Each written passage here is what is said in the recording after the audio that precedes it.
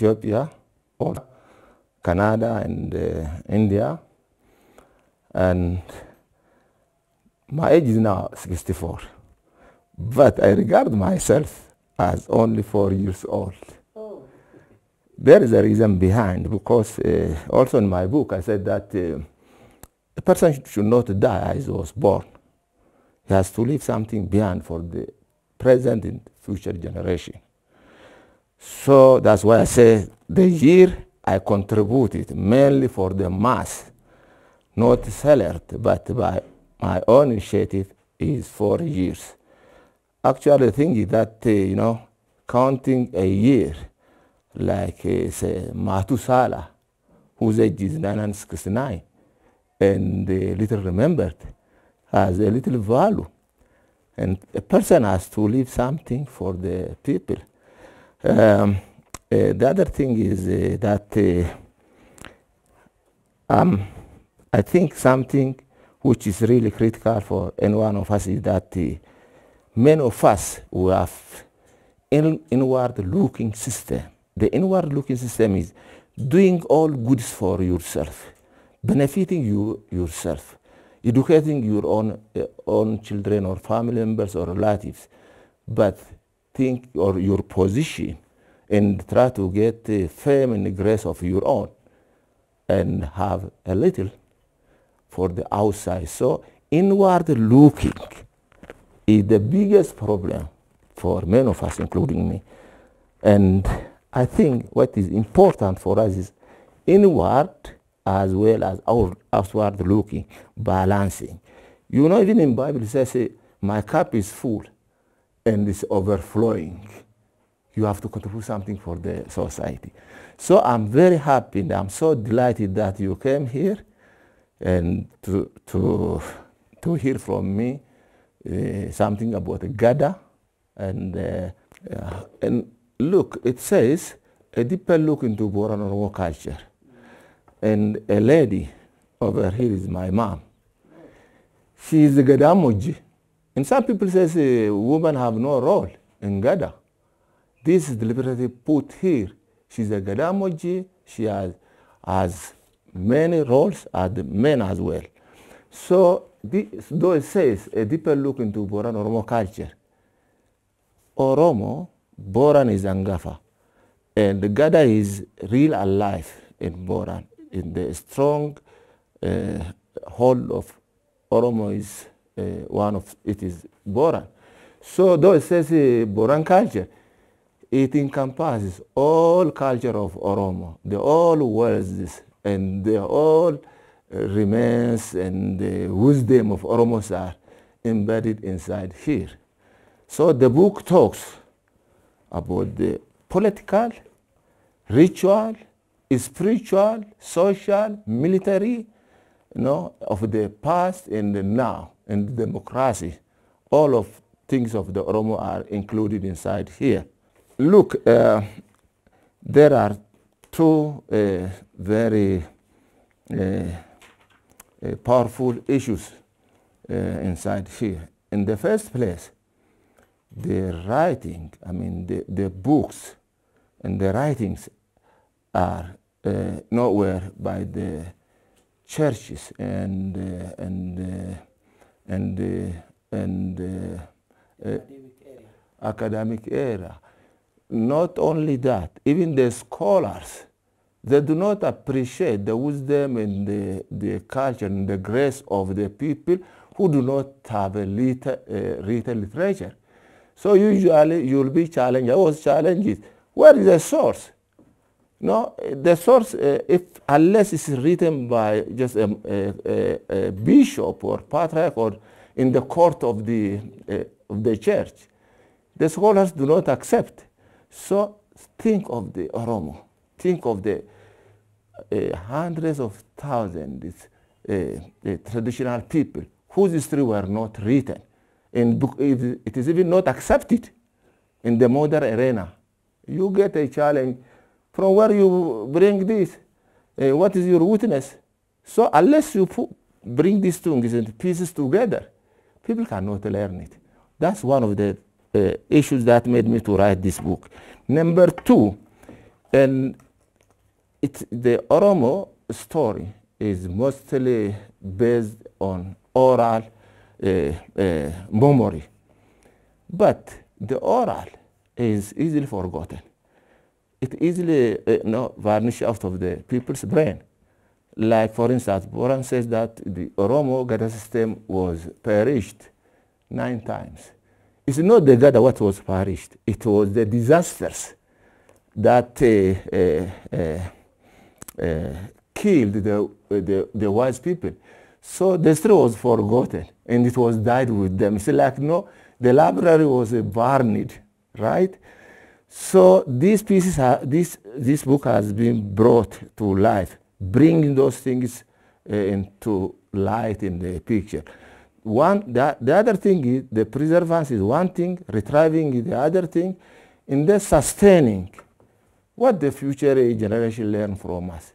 You know, this Gada thing, this, the, the, the noble issue of Gada is highly treated. Political, the military, the social wing. And you have here the Kalu, the spiritual. So what often we, we hear here in, in Ethiopia also, the government should not interfere with the issue of the religion. And the religion people should not interfere with the issue of the government. Like they have made this distinction long back, my friend. So Kalu, it deals with, the, with only spiritual part, but there is sometimes interdependence. You know, like uh, there is a time when Abagada need Kalu to, to, be, to be blessed or for, to get uh, forgiveness for his transgressions. And then in the Gada, Gada has nothing to do with the religion. It is simply governance. Even here, let me say a little thing. Here in Ethiopia, even the big, the, the authorities, they do not distinguish between what the government and what is the, what is a party. Yeah, yeah. Like Gada is, yeah, Gada is a party. No, on the other hand, it's a party, it's a ruling party. Yeah. And then people are the, on the top. If you uh, revert this, like a pyramid, the, the base is the community. The upper one is the, the small parties, representative of the Gada leaders, the Abagada or the Kallu. Here, okay, uh, there are many confusion. So to, to shorten the things, yeah. here is an area, for instance. Area is just simply a age set. Area is simply age set. yeah. Children born in, in the era of one Bagada are considered to be in the same Gada, uh, Gada age or age set. These are no political role. If me and you born within the span of 80 years, we become a year that short. But mind you, in the Gada, there is a power. We'll see the growth. And if you permit me to continue, I can, I can give you even better illustration. Okay, thank you, brother. In over here, for, instance, uh, uh, okay, doesn't matter. Look, uh, for for instance, you, this is a Gada grade. Gada grade and the age set is two different things. Some people says Gada class, and it's the same. And now the biggest confusion is up here you have a Dabbale. Dabbales are the children of Raba. And then the, the circle, I mean the, the spiral grows, comes up to here and a person become here Abagada. So when somebody become Abagada, he has finished his term. Now he become Yuba, like for instance, or Yogoba. He, be, he, he is an advisor, he's a basera, he's, he's attorney general. He knows much about the law, but the era is of, uh, of, uh, of uh, Kurajarso. So this grows. You have here the Balle and then Gamme and then uh, and then Kusa and Raba. So in, in this era, there are different functions. Here, the Bale, they are, uh, no, they are just infants. They are small children. They have no role. And then when it comes to, to Gamme, uh, Gamme Didiko, still they are very small. Still they are very small. It, when they come to Gamme Gurdo, listen, now the recruitment for the coming uh, party leaders starts. Recruitment. The recruitment is the, the elections. You elect, but not coming to power, like uh, uh, uh, like Godia. Godia. People are elected in the left up to their parade, up to their Gada, Gada power, and then get a training. So here they get re, uh, recruitment in, uh, in, in Gamme Gugurdo, and then uh, here we have uh, Kusa. Now, number of them have been already elected at this time. In positions known, but they have no right to exercise that position. Look, why? Because their party, party parade has not crop up. They are far away. So when the when the when the uh, uh, Gada comes, that means these people gradually grow to the position of Abagada already elected. You know, six, uh, seven people will be elected, and then one become among that uh, Abagada, and then there is a Baboku uh, within the year. But when you ask, I'll, I'll come to that detail. It's a bit uh, complicated. So for, before I leave this area, please do let people should miss, uh, mix Gogesa, Gogesa, which is a party. Boran has five Gogesa, five parties. And uh, these uh, grades, there are two different things. Like any other part of Ethiopia, this world is not uh, well entertained and not well kept. They are not well administered. There are cut, there are uh, high quality uh, cows, bulls, no market, no no market. In, and then in, in period of uh, dry time, people have not much learning or education not really given to diversify their assets. Like, you know, part of it be banked, sold out in the market, part of it used for, for investment in the town, building houses, some of it for the school. No, these were not uh, well looked into. Boran is not uh, much helped. It's not much LP. And I regretfully say that uh, some water, uh, the water uh, sources, the water developments in Boran, like the one from uh, down from um, Golbo, uh, Eladim to, to say to come to to always the law, Avallo, and project of billions of birr totally failed. No one knows where that money goes. We went.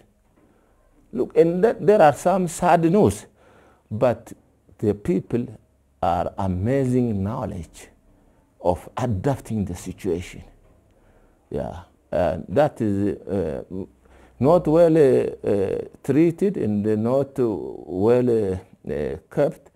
Is still the, nat the nature made it to survive and come up to this time.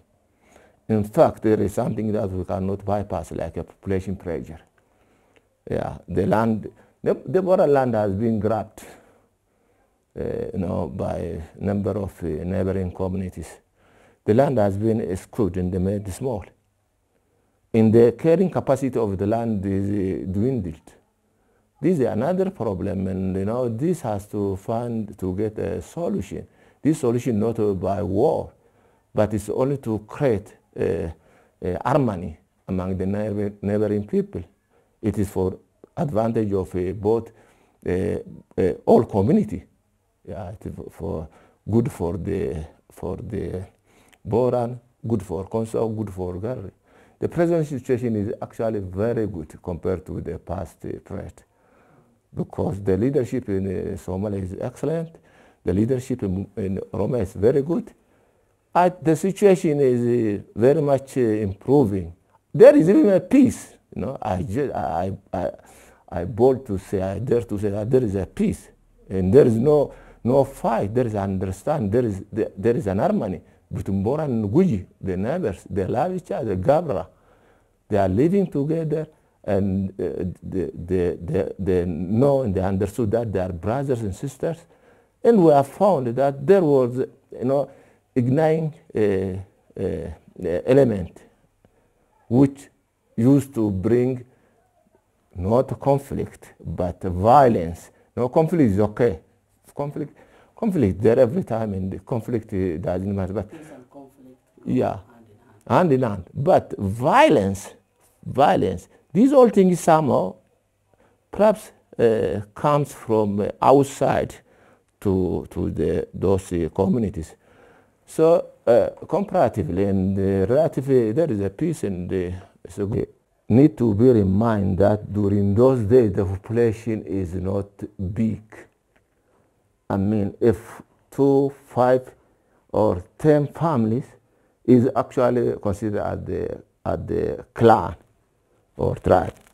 Now, the important, the very critical issue you have raised now, Oromo is said said to be living in the north, and they have their own gada. In the north, also there are the Muslims, also Christians. These people have a binding, a binding uh, power, like for Christian, Christianity, for uh, Muslim, Islam. And these are the binding uh, organs. But Oromo had the Gada. The Oromo had no, had the Gada. That Gada was not uh, explained well with its laws.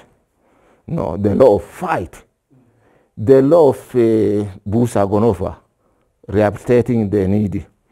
So la, a kind of crusade, a war started in, in the north.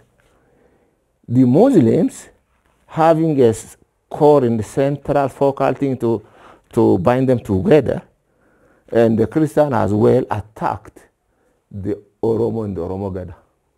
They were expelled from there and they came to Medawalabo. In Medawalabo, they came together, and Ali Guracha was the, the lawmaker. The law was uh, reformulated, how to, how you know, the rule of law, the rule of law was formulated. And then once again, they, they, they, they decided to recapture their land because now they have a Gada, they have a strong Gada laws that binds them together. How this Gumiga was created, uh, the most important. The Gumi, the multitude uh, with the maximum power, supreme power, was created because some people became dictators in the Gada system itself.